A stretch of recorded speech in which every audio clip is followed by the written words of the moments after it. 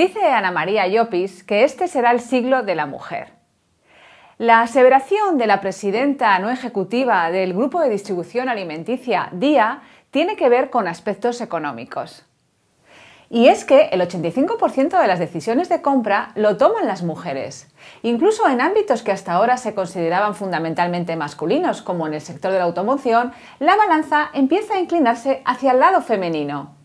Por eso, el poder de la mujer en la economía vía consumo es latente y, sin embargo, el 95% de las mujeres no se sienten satisfechas con el lenguaje que utilizan las marcas con ellas.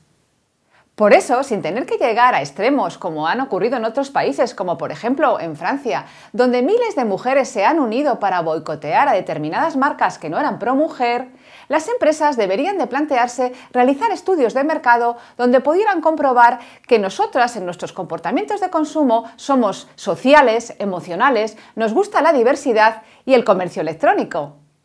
Y otro dato a tener en cuenta, como dice Cristina Vicedo, ejecutiva de Future Brand, es que las mujeres pensamos 9,5 cosas cada 5 minutos, así que las marcas, para captar nuestra atención, tendrán que afinar.